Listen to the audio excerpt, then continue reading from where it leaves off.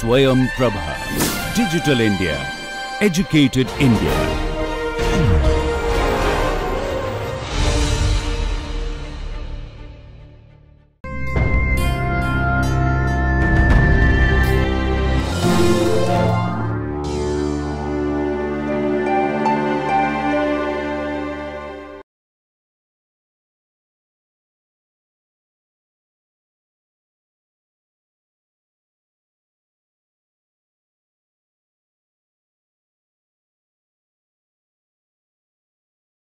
Let us move on to the analysis of rigid bodies using their absolute motion. You know, I move the duster that is what is simulated here. This motion is very easy to comprehend and all of you would say that this is rectilinear translation. There is no difficulty at all in visualizing what is this. Then we have also seen fixed axis rotation. This is rotating uh, anti-clockwise and I can also rotate this clockwise. It could be clockwise or anti-clockwise. Make a neat sketch of uh, these diagrams and observe what is the kind of motion that I am giving to the duster now. How will you classify this kind of motion? Look at this motion and also the emotion that you have now. Are you able to perceive any difference between these two motions? For your benefit, I will repeat the animations. So, what I have here is it is moving over a curve in one fashion. This is also moving over a similar curve in a slightly different fashion. Do you observe the difference? And how can we label this kind of an motion? This is definitely a translation, but of a curvilinear nature.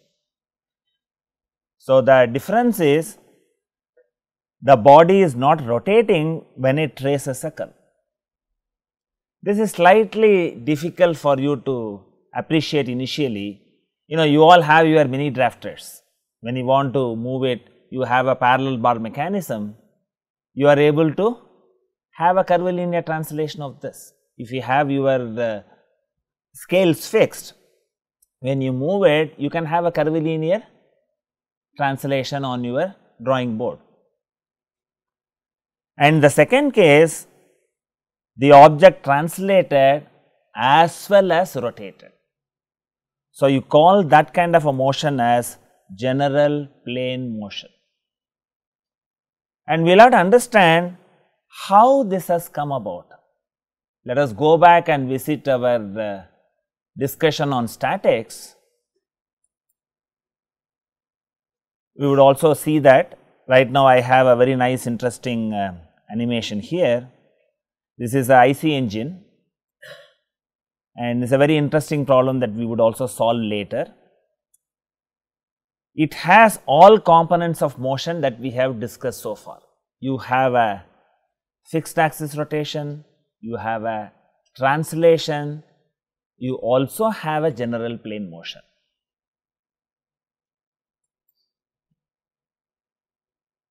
And this crank, this is known as a crank, this crank has fixed axis rotation and your piston has a reciprocating motion essentially on a line. On the other hand, when I have this uh, connecting rod, this connecting rod, what way can you classify the motion? The connecting rod has a very interesting type of motion, okay? because on one hand this is moving in this slot, the other end is rotated by the crank and this in general has a general plane motion. It has both translation as well as rotation, fine. I have this translation. when I come to this connecting rod, this has a translation as well as rotation. And in absolute motion analysis, what you do is make use of the geometric relations which define the configuration of the system involved. You know, a class of problems you can attempt to solve by using absolute motion, but it may not be convenient to solve all problems. So, you need to develop newer methodologies that is why we have translating axis, rotating axis and so on. So, that you are able to perceive the relative motion much more easily than an absolute motion. In the case of absolute motion analysis, you have a mechanism like this. I am having this with a velocity pulling it out and you have a groove and a slot and these body can move in this fashion in horizontal fashion. And since you have already done virtual work where we have looked at pin jointed members like this, it is easy for you to visualize what would happen when I move this cylinder. Then you get into the geometry and take the time derivative to obtain velocities and acceleration. A class of problems can be easily amenable for solution when I look at the absolute motion. And we have looked at uh, what was rotation in the previous class. This is just a recapitulation. So, you will have to realize that it is enough I put a line on a body and monitor its rotation, I am able to find out what is the angular velocity and all of you have some idea of what is rolling, fine. And I would like you to go back and see what constitutes rolling. See, I have uh, three discs I have put. Can you guess why I have put three discs for me to explain? If you have noted my initial slide that shows the background, you would have got the clue. Is it same as rotating about its axis? Is it same as fixed axis rotation or it has some connection with fixed axis rotation? You understand the question? You, you see a wheel rolls, everybody sees. You come to the class using a bicycle, the bicycle wheel rolls and then comes. That is why you are able to come to the class. It is also rotating about its axis, but it also has another component of motion, fine and that is what is beautifully illustrated in this animation. I have a fixed axis rotation and I have a translation. The combination of these two gives me rolling. See it again. What I show here is this disc rolls in this direction. Why it rolls?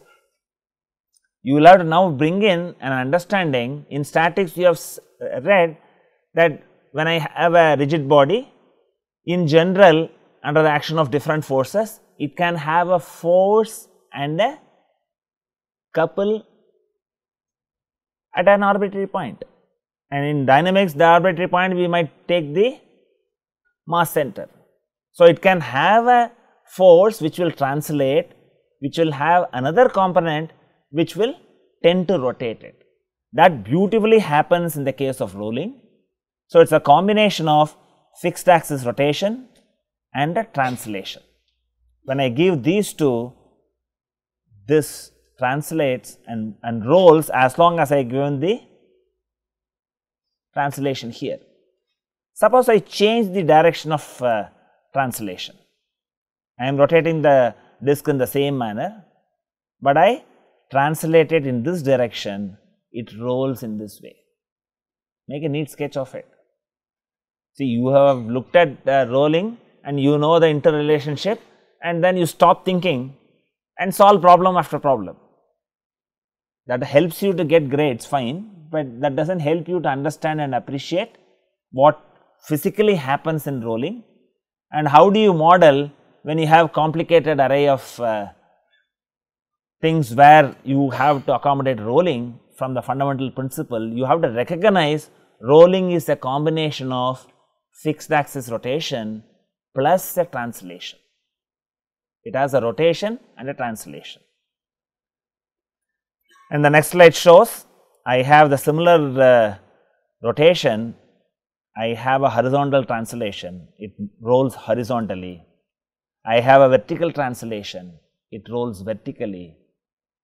I have an inclined translation, it rolls in an inclined fashion. Fine? It is a very nice example of general plane motion. Very common example that you are accustomed to. And let us get the mathematics for this. So, I have a wheel of radius r rolls on a flat surface without slipping. That is a very, very important statement.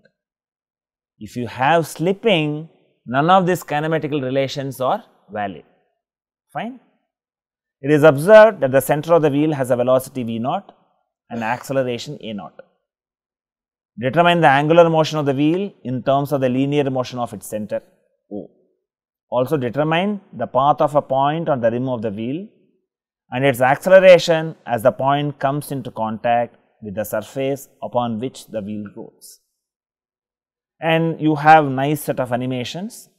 Please make a neat big sketch of this in your uh, notes.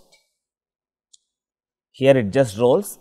From the next slide onwards, you have much more detail. So, we move on to the next slide. And you have the disk rolls by a small amount. Please observe this, this animation will be repeated. First make an observation, then you have uh, enough opportunity to draw. Very carefully drawn.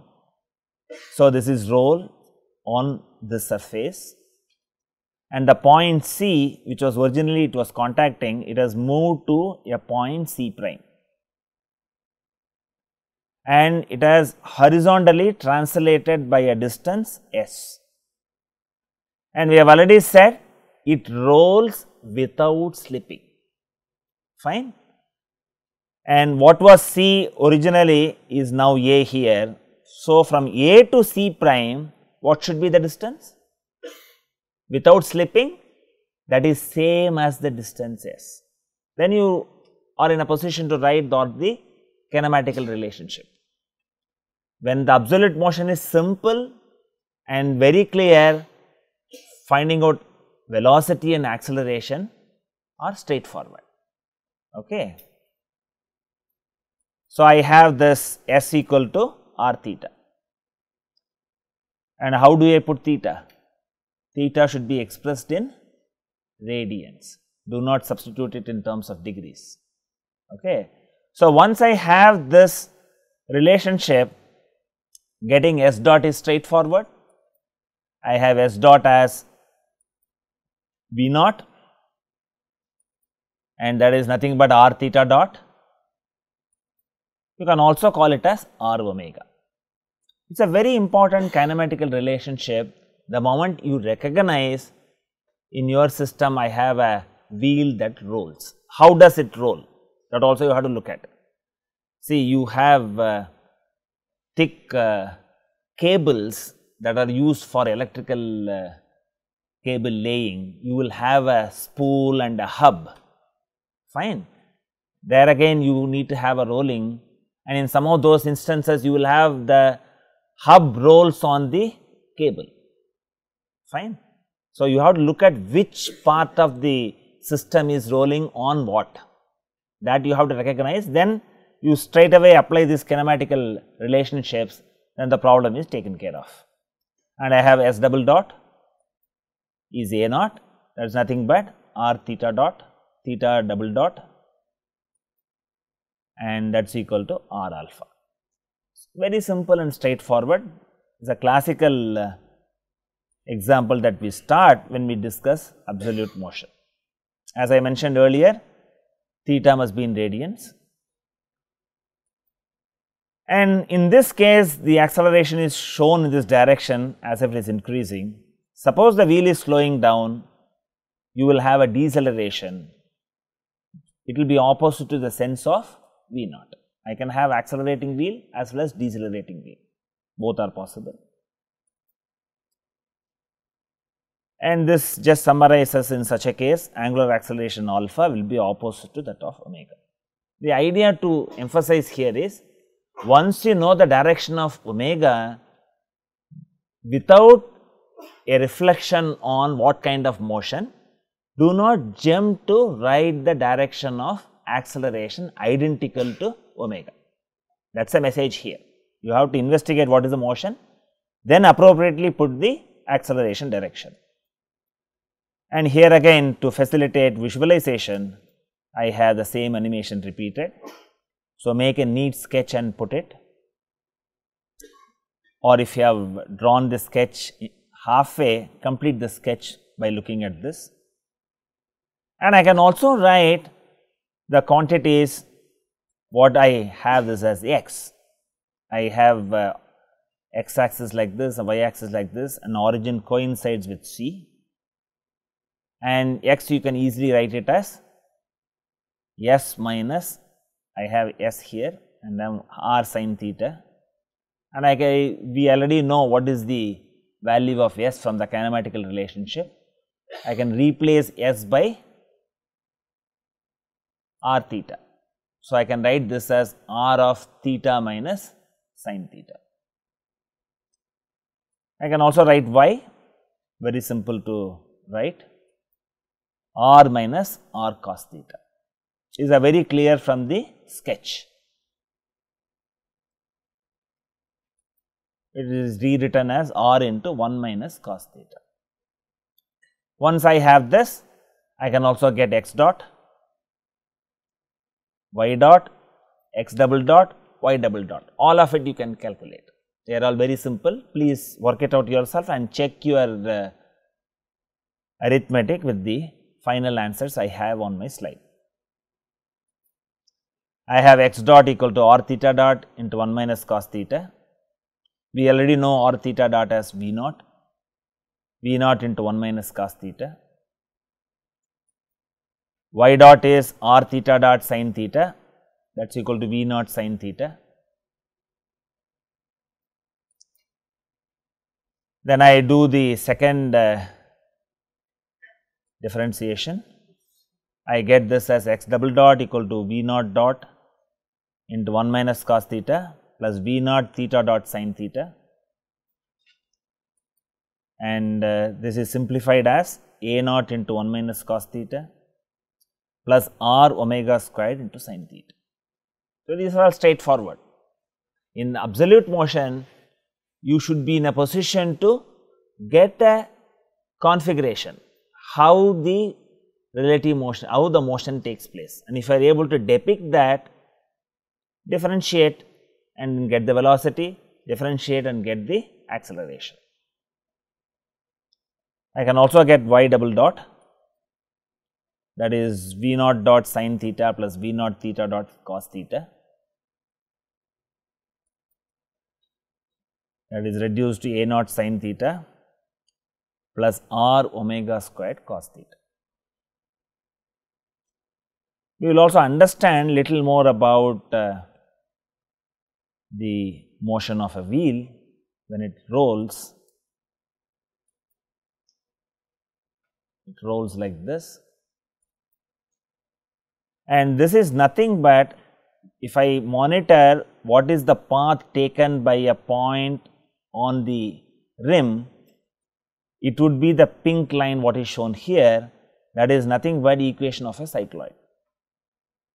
And there are very interesting stories about uh, who were all worked on cycloid. People give credit to Galileo that he only coined the term and things like that.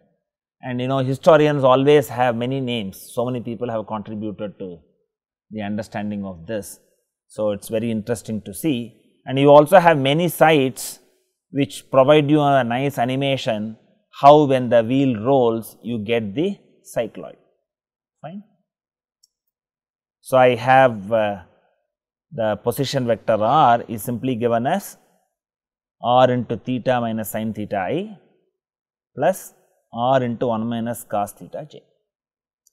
See one of the students came and asked me in my representation I simply put a cap to denote the vector. I am not distinguishing it as unit vector we put a cap for a any other vector we put a arrow. You know with whatever the software that we are using for generating this equation it was easier to do. So, we have taken a convenient route to represent this. I suppose it does not make uh, much confusion in your mind in interpretation. Okay.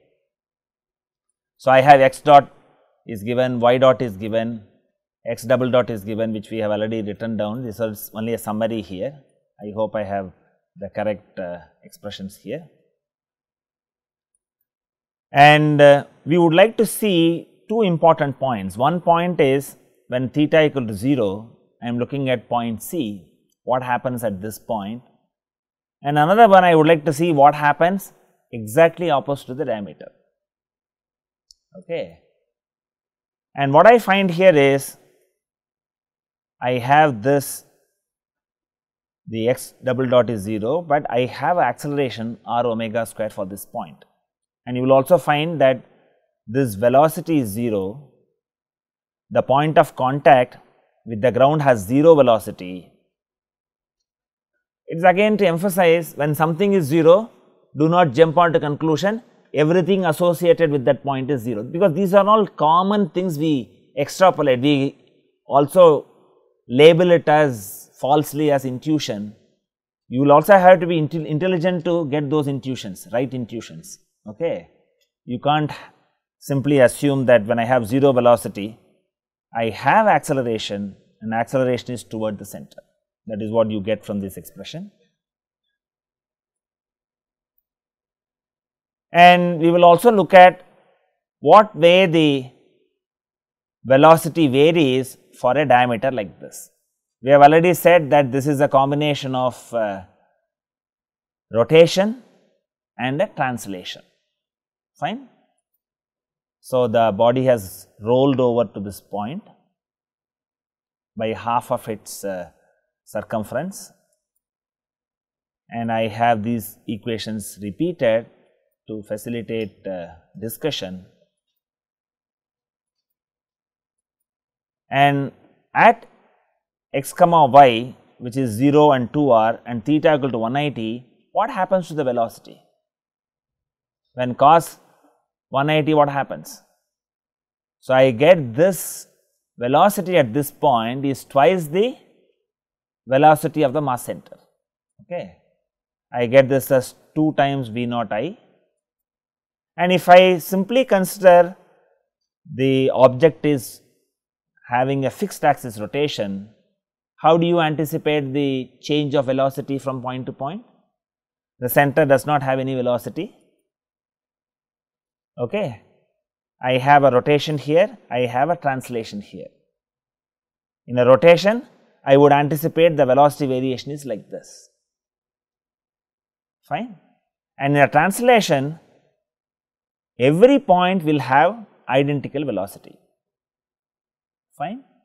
And when I add these two, I have a linear variation on the diameter. And this is also a very, very special point. What is this special point? I can also look at and call this as the point C as instantaneous center of 0 velocity. Okay. What is the meaning of it? It is as if the object rotates about this point at that point in time. I have a variation of velocity like this. This is very similar to what I have done it from the center to this. From the center to this I have put a triangular variation. This was the axis about which it was revolving. Now I have an instantaneous center of 0 velocity. Very, very useful. Later we will learn several tricks. Of this, one of it will be identifying instantaneous center of 0 velocity and simplify your calculation. Okay. So, it is a pure rotation about an axis normal to the plane of motion passing through this reference point at that instant of time. That is what you have to keep in mind at that instant of time it makes your computation much easier and straightforward. And let us look at what happens visually when there is rolling with slipping. Fine. I have a roll rolling of this disc which is a pure rolling there is no slipping at all and look at the second disc how does it uh, moves. So, you do have uh, rolling and slipping it is precipitated by the surface condition. If your uh, path is not all right, if the floor is not all right, fine, you could have slipping. And the moment there is slipping of the wheel, the kinematical conditions are not valid. Okay. And this has a pure rolling. So, there is a distinction between a pure rolling and rolling with slipping. And we make our life simple. In many instances, you would have noticed in actual life when you have oil, that is where many accidents take place. Okay, if there is uh, some, uh, there was an accident and there was a oil spillage, people do not have stability, there will be sliding. Okay. So, if I have a slipping, I cannot apply the kinematical condition that we have uh, developed earlier and I have to analyze it much more carefully. Okay. Let us move on to another problem, make a neat sketch of this. I have a hydraulic uh, cylinder which can move up and down and I have a triangular plate which has a roller here and this roller is guided on the horizontal direction using this and geometrical uh, details are given. It has a triangle of uh, equal sides, I have uh, length B, B and so on. And this also gives an animation which tells you what happens when the cylinder is moved up. Watch the animation, then the dimensions come. So, I have this uh, cylinder is moved up, it is moved up, this rolls and then moves within that slot and you find that plate has a rotation. And uh, in the problem itself it is labeled as uh, distance x here and this distance is taken as y and with respect to horizontal the orientation of the plate is theta.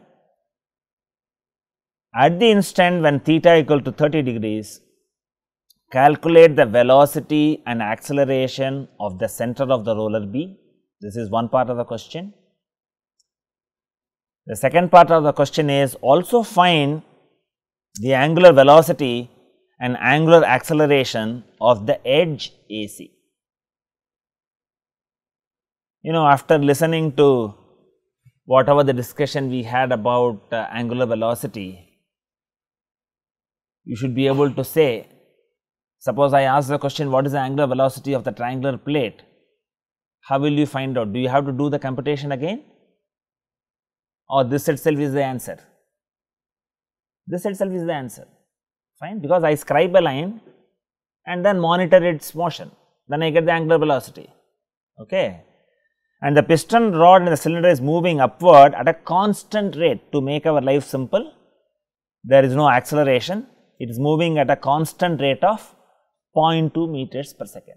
Fairly straightforward problem. It is easy to visualize how the motion takes place and you can write the geometrical relationship conveniently. Then simply differentiate, get the velocity, then get the acceleration. That is what I am going to do. So, from the geometry of the figure I can write uh, it shows the animation again and then the um, markings come which shows the dimensions and so on. So, I get an expression x squared plus y squared is equal to b squared. Mind you that we are dealing with a rigid body. That is why we have idealized that as a rigid body. If we consider that as an elastic body, under the action of forces, it can have a minute deformation. That will make our life difficult to do, but even when you do deformable solids, we will keep our eyes half closed and then still do the same thing saying that deformations are very very small. Fine, that is how engineering works.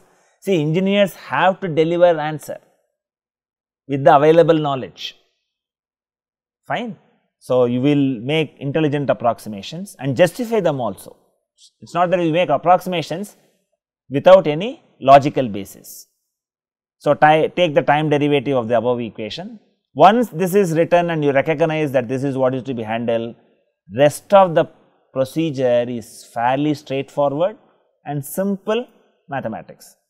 So, I when I differentiate this I get this as x x dot plus y y dot equal to 0. On differentiating it again, I get x x double dot plus x dot square plus y y double dot plus y dot square equal to 0. So, this gives me x dot equal to y by x into y dot and uh, you get the acceleration x double dot equal to minus x dot square plus y dot square divided by x minus y by x y double dot. Now, we have to go back to the problem statement. The problem statement clearly says there is no y double dot, we have y double dot as 0. So, that is how you interpret and simplify, substitute the quantities, you are also given what is y dot. Okay. So, we just substitute these quantities, you are in a position to do that. And we also know y equal to b sin theta and x equal to b cos theta. And as I said the problem statement says y double dot equal to 0, this is moving at a constant velocity upwards and we have this interrelationship.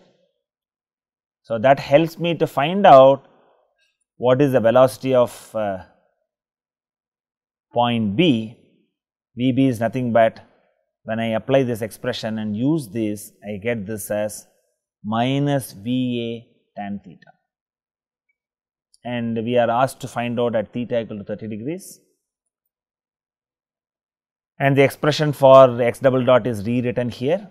Substitute these values and I get the acceleration at point B as AB equal to x double dot equal to minus V a squared by B secant cube theta.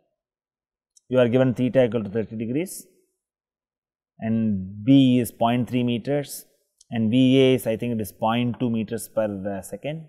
So, when you substitute I get the numbers.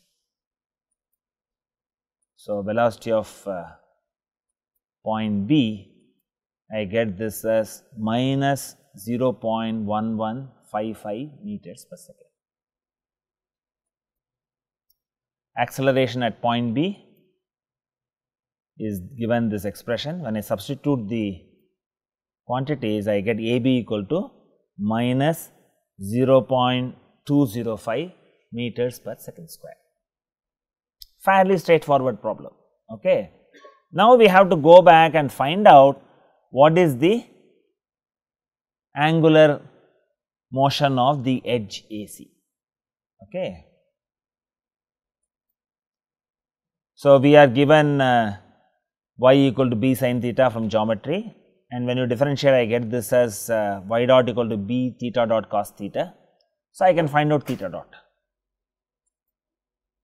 So, I get theta dot that is nothing but omega of this triangular object V a by b secant theta so, when I substitute I get this as uh, I have the values also, but before that I have also written down the expression for alpha differentiate this again theta double dot equal to V a by b theta dot secant theta tan theta. And when I substitute the values I get omega as 0.77 radians per second and alpha as 0.342 radians per second square. And somebody asks what is the angular velocity of the triangular plate, you can confidently say now. I have said if I have to find out the rotation of a rigid body, simply scribe a line. Here the shape itself is triangular, one edge itself is a line. If I find out for that line, that line whatever happens to that line is what happens to the rigid body also. Then we move on to the next problem which we have already looked at when we started thinking about uh, analyzing the problems using absolute motion. Fairly straightforward, the idea is to make it simple and get the concepts and make a neat sketch of this problem statement. And you can easily find out the interrelationship what is x and what is y and uh, the job is done and it is also very easy to visualize when I move this up B and C will come closer because of the geometry and that is what we have uh, shown in the deformed configuration. These are all pin jointed members, very easy to visualize the deformed configuration and we get on to the mathematics. We can write x as uh, 2b cos theta, I can write this as x as 2b cos theta. And y I will write this height that as 4b sin theta, the job is done. The velocity of sliders b and c is given by v equal to minus of x dot.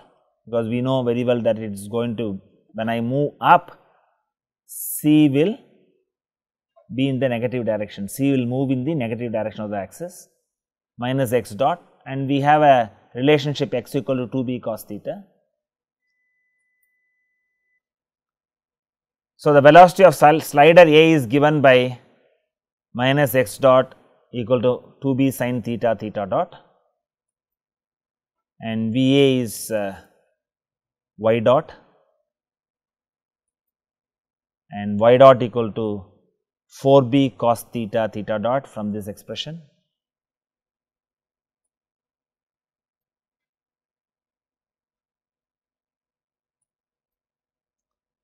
So, I have expression for x dot, the velocity of A, B and C slider are given by I have V A is this and then theta dot equal to V A by 4 B cos theta and V equal to minus x dot. So, I can simplify this finally this as V A by 2 tan theta. The magnitude I can simply write it as V A by 2 tan theta. So, when I move this up, this comes down. Here I have written only the values here and this is fairly a straightforward problem for you to comprehend the motion and you are able to do an absolute motion analysis. So, in this class we have uh, looked at what are the kind of motions a rigid body can have, easy to identify rectilinear motion or a fixed axis rotation what is subtle is curvilinear translation of a rigid body. Even a general plane motion you can easily comprehend. Curvilinear translation is a slightly tricky idea for you to appreciate. Then we moved on to solving a problem of uh, rolling of a wheel and we recognized rolling is a combination of rotation and translation. We have seen nice animations depicting that, determine the kinematical relationship and I cautioned these kinematic relationships are applicable only when there is no slipping. If there is slipping, those relations are not valid anymore. And finally, we solved uh, two example problems to illustrate you can do absolute motion analysis when you are looking at rigid body dynamics. Fine? Thank you.